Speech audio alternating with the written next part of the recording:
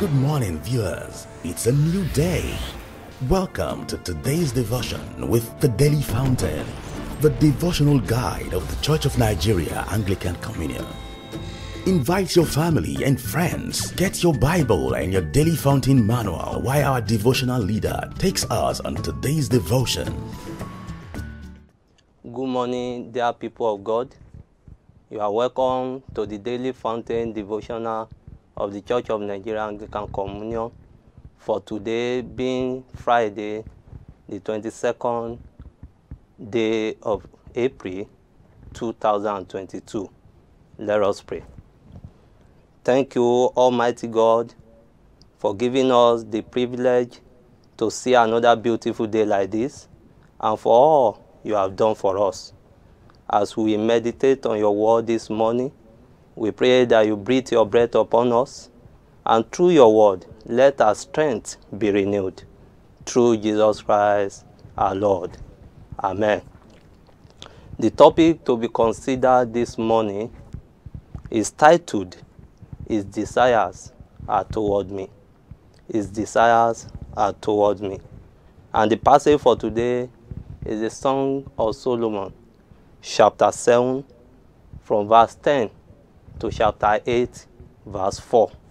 I read I am my beloved, and his desire is toward me. Come, my beloved, let us go forth to the field. Let us lodge in the villages. Let us get up early to the vineyards. Let us see if the vine has budded, whether the grape blossoms are open and the pomegranates are in bloom. There I will give you my love.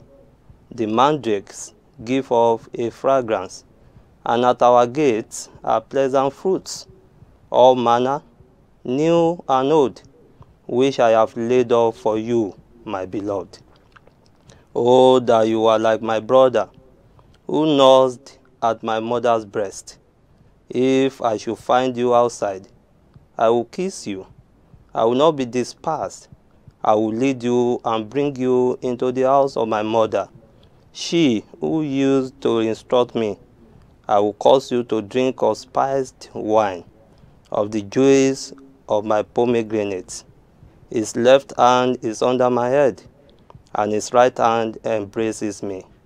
I charge you, O daughters of Jerusalem, do not stir up nor awaken love until it pleases.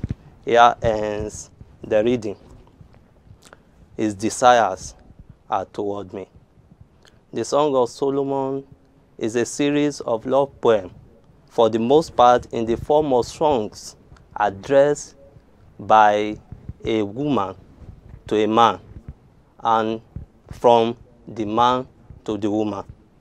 These songs have often been interpreted by the Jews as a picture of relationship between God and his people and by Christians as a picture of relationship between Christ and the church. But by way of reminder, this book is not mainly a romantic poem between uh, just a man or a woman. The subject matter of this book is Jesus Christ and his bride. It is a song that speaks of this beautiful love between Jesus Christ and his bride, the, the, the, the Christians, the believers. So, with this in mind, we will consider the passage before us this morning Song of Solomon, chapter 7, from verse 10 to chapter 8, verse 4. This passage we just read expresses the affections shared by two lovers. They have spent time together and they love each other and they desire to be together.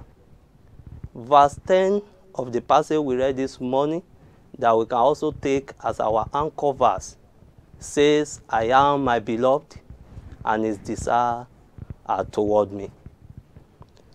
I want us to, to take note of four distinct aspects of the statement made by the woman in this verse in response to the affection, to the love that has been shown to her by her lover. And the first aspect I want us to take note is that this statement is personal. The, the pronoun used by this woman are personal pronouns. I, my.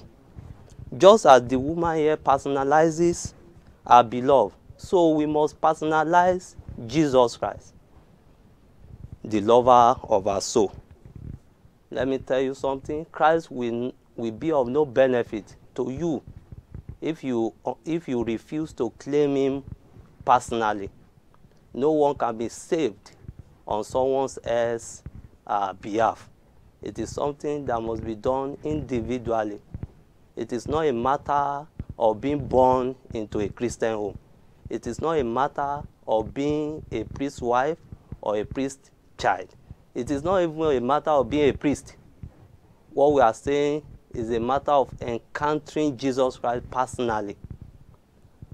And Jesus has made it clear. He has promised that he will receive anyone that is ready or willing to come to him. He said in the later part of John chapter 6, verse 37, that anyone comes to him, he will by no means cast out. So it is left for individual to come. It is left for individual to embrace Jesus Christ. It doesn't matter your position. It doesn't matter your race. It doesn't matter who you are. What you need is just to come and embrace the love of Jesus Christ.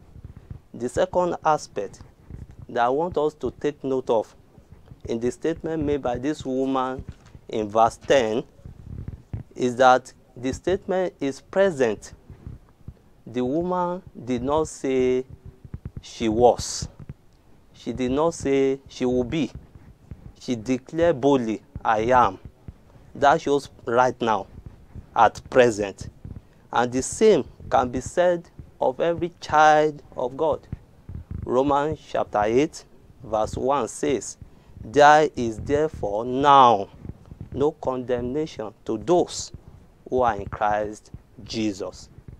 Salvation occurs the moment a person repents of his or her sin and places his or her faith in the finished work of Christ. Today, we still have many believers that still feel guilty of their past. It's not supposed to be. Immediately we, are, we give our life to Christ, we are new creation. Apostle Paul said in 2 Corinthians chapter 5, verse 17, that if any man, any woman, any boy, any girl is in Christ, he or she is a new creation. All things have passed away. He has become new. Because if we continue to feel guilty of our past, this will hinder us from having an intimate relationship with Christ. It will hinder us from coming boldly to the throne of grace. It will rob us of the blessing we're supposed to acquire from Jesus Christ. Another thing to be noted in this statement is that it is possessive this reveals the intimate personal relationship between the two lovers. There is a relationship between these two lovers. They have spent so many times together. They belong to each other. This is the kind of relationship we have to have with Jesus Christ the moment we receive Him as our Lord and personal Savior. Apostle Paul tells us in 1 Corinthians chapter 6, verses 19 and 20 that we were literally purchased from the slave market of sin by the precious blood of Jesus Christ, and that we no longer belong to ourselves. And that's why it amazes me today when I hear people saying they can do anything they like with their lives, that they, they own their lives. No, it's not so. Particularly for a believer, particularly for somebody that has claimed to, to have Christ you are you don't own your life. You can't do anything you like with your life. The bible says don't you know that your body is the temple of holy spirit? So as this woman uh, declared that she belongs to her lover, we also must be able to declare in everything we do that we belong to Jesus Christ. The last aspect I want us to consider is the fact that this statement made by this woman in verse 10 of our passage this morning is pas- passionate. The term beloved is a term of endowment. The lover has been redeemed by our king, just as the saved have been redeemed by the blood of Jesus Christ. If I may ask this morning, is not Christ beloved by you? We see before the passage we read this morning, especially from chapter 6, verse 4 to chapter 7, verse 9, we see how the man in this passage reveals the depth of his love through his magnificent praises. Thereafter, then, the woman's focus changes. In the security of the amazing love of her lover, she loses all awareness of self interest and she sees only him. She no longer cares about what is hers. She cares only that she belongs to him and that his desires are towards her. That is what is supposed to be our focus as believers. We must not see anything as as us again, in as much we belong to Jesus Christ. And that's why this woman can boldly say, I am my beloved, and his desire is towards me. I wonder where our own heart are today. As believer, do you have that concern that you belong to Jesus Christ and that is passionately desire you? That enablement. Christ desires us more than we even desire him. I want us to think about his death on the cross. It was indeed a clear demonstration of his love and desire that made him to die for us, not minding the shame, the pains he, he, he had to pass through. And so we have a responsibility to uphold this love and to reciprocate this love that God has freely shown us through Jesus Christ. If I may ask, do you really love Christ? Are people of God, I don't want you to be quick to answer that question because today many people claim they love Christ and their behaviors, their, their actions are totally contrary to the word of God. Of course, the word love has become the most misused word in the world today. Love will be more meaningful in actions than in words. John chapter 3, verse 16 says, For God so loved. And the next thing that follows is what God did because of the love he had for the world. And the Bible says he gave. That's action. So if you are claiming you love God, then it must show in the way you live your life. Of course, Jesus says, if you love me, you will keep my commandment. It should be noted that it is contradiction in terms for an individual to say he or she loves Christ only for his or her heart to still be in the world. True love for God compels the believers to obey not just part of the Bible, but the whole. For some believers, the commandment of Christ through Bible governs their actions, their taste, relationships, possession, lifestyle, conversation, and so on.